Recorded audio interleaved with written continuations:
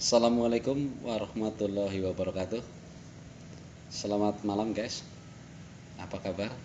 Semoga teman-teman senantiasa dalam lindungan Allah Subhanahu wa taala dan senantiasa berbahagia. Jangan lupa guys, kita senantiasa bersyukur kehadirat Allah Subhanahu wa taala dengan kita senantiasa mengucap alhamdulillahirabbil alamin. Dan jangan lupa pula kita senantiasa menyampaikan sholawat dan salam kepada junjungan kita Nabi besar Nabi Agung Muhammad Shallallahu Alaihi Wasallam dengan mengucap Allahumma sholli ala Sayyidina Muhammad wa ala ali Sayyidina Muhammad. Oh ya guys, pada kesempatan kali ini saya ingin menjelaskan kembali masih seputar eh, dinamo DC atau dinamo AC supaya berputar bolak-balik. Pada episode pertama saya menjelaskan dinamo berputar bolak-balik kanan kiri atau maju mundur dengan tambahan sistem relay. Pada kesempatan kali ini saya ingin membagikan eh, bagaimana cara dinamo DC ataupun AC bisa berputar maju mundur, berputar bolak-balik atau kanan kiri tanpa relay. Oke. Untuk hal tersebut, mari kita lihat uh, saya membuat wiring diagramnya ya, membuat gambarnya, membuat bagaimana cara penyambungannya melalui wiring diagram. Saya yakin teman-teman kalau melihat uh, dalam penjelasan gambar ini, insya Allah teman-teman langsung bisa praktek, bisa menyambungkan.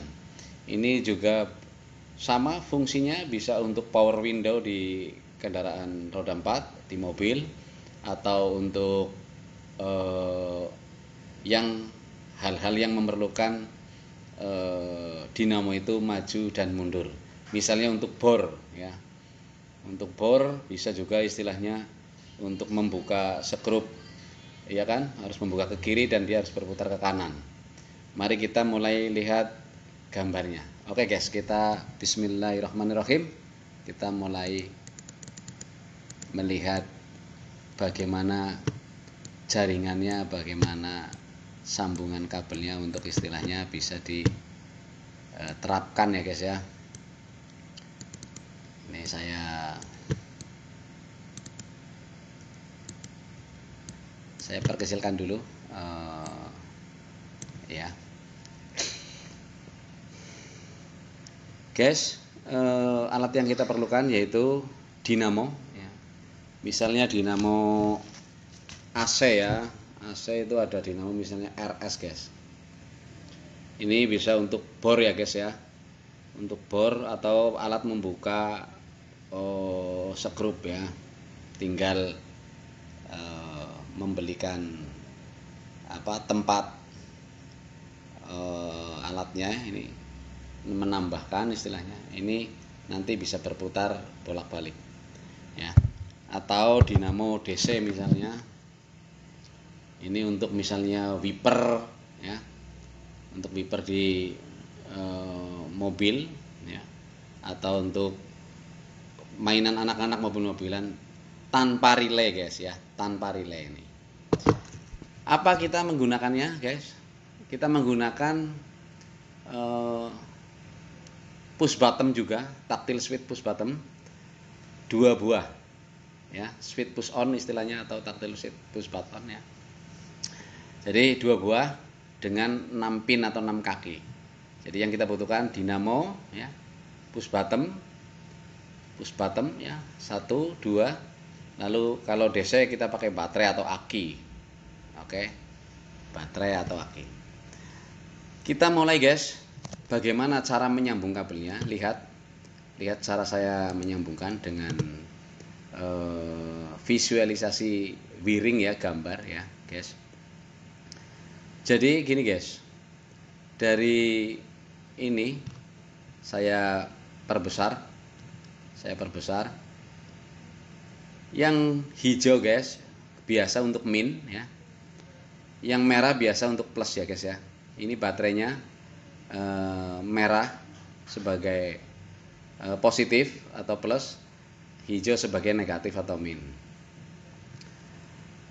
Kita sambungkan dulu guys, ya, yang eh, minnya ya. Kita sambungkan dulu, kita gambar minnya. Kita tarik guys ya, kita tarik. Nah.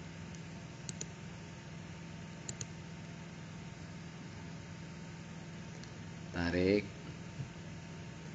Untuk minnya ya guys ya. Masuk ke uh, pin nomor satu ya guys ya. Pin nomor satu. Pin nomor satu guys. Nanti ketemu dengan pin nomor 4 guys. Jadi pinggir di sini ketemu pinggir di sebelah kanan. Pinggir kiri ketemu pinggir kanan guys ya. Jadi ini nah ini di jumper ya guys ya di jumper nah ke sini guys. Nah jadi disambung. Disambung saya luruskan garisnya. Disambung dari satu ke pin satu ke pin 4 ya. Pin satu ke pin 4 begitu guys. Ini saya perbaiki guys ya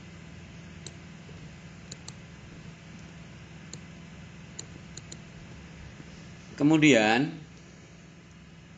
untuk plusnya guys ya positifnya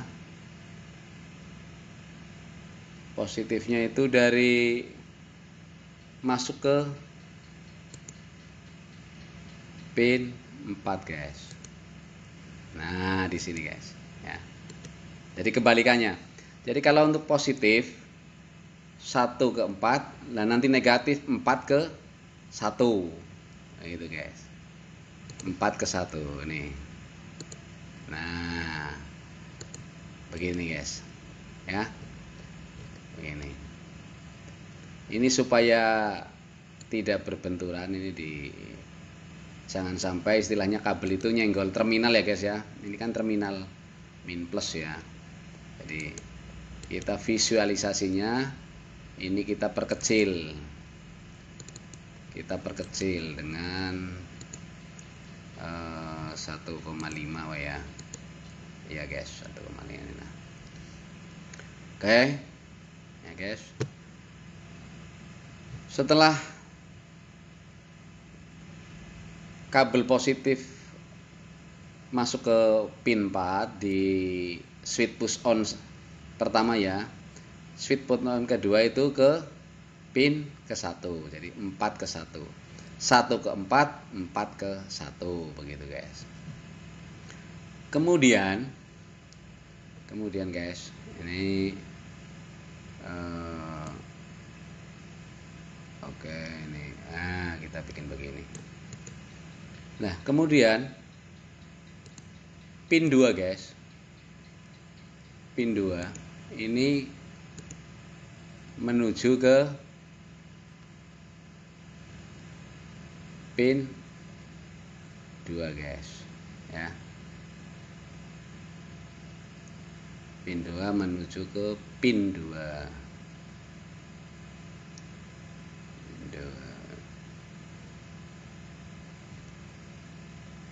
nah. Ini kemudian kita perkecil juga guys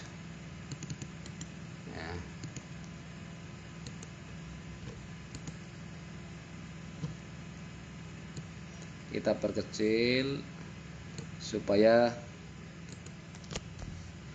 kabelnya tidak bersentuhan dengan terminal yang lain gitu guys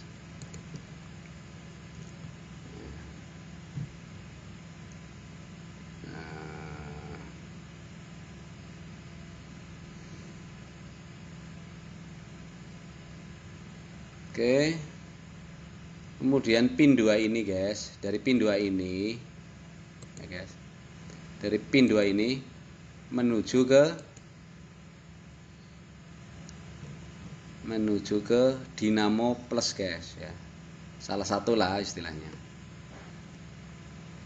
Salah satu.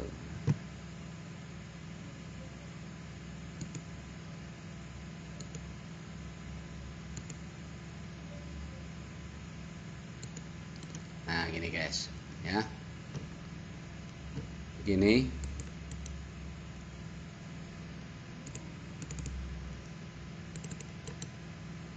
Sehingga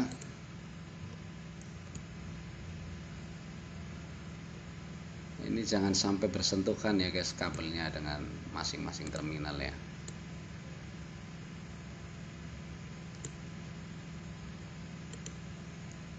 Oke. Lalu untuk kabel min guys, untuk kabel min yaitu pin 5 guys ya. Pin 5 masuk ke pin 5 juga guys.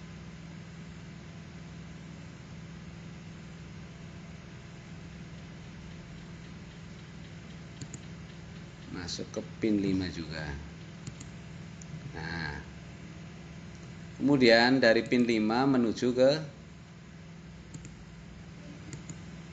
menuju ke dinamo guys.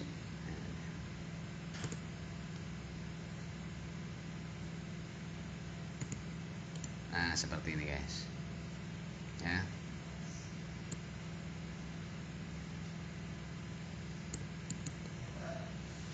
Bisa dipahami ya guys ya? Sudah selesai guys jadi dari dari baterai min ya ke pin 1 dari pin 1 digabung dengan pin 4 di push on kedua ya. min baterai masuk ke dalam pin ke satu atau kaki satu di di switch push on pertama. Lalu pada switch on push on kedua itu ke pin 4 Lalu dari plus masuk ke 4, pin 4 di push on nomor 1 ini, push on pertama. Dari push on pertama ke push on kedua di pin ke 1. Jadi 1 ke 4, 4 ke 1. Kemudian dari 2 ke 2 ya. Lalu ke dari 5 ke 5. Kemudian dari 2 ke dinamo sama 5 ke dinamo. Ini selesai guys ya, selesai. Ini manakala push on pertama ditekan misalnya eh, dinamo berputar ke depan, begitu dilepas berhenti, maka pada push on kedua begitu ditekan dia eh, berputar ke belakang begitu. Ini ke depan, ini ke belakang. Seperti itu guys, tanpa ini tanpa relay ya. Tanpa relay.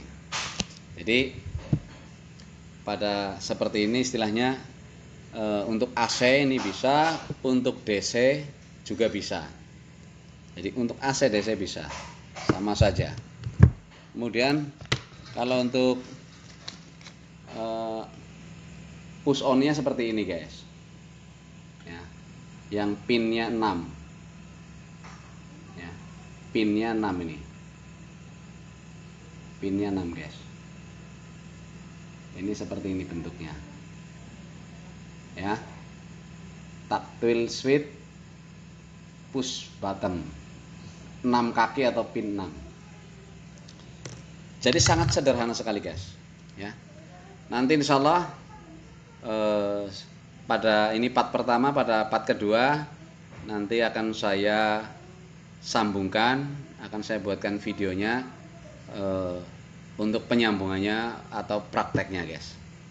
Oke saya kira kesempatan kali ini hanya itu yang saya jelaskan guys. Jangan lupa ya teman-teman jangan lupa subscribe ya like dan komen serta eh, nyalakan notifikasi loncengnya.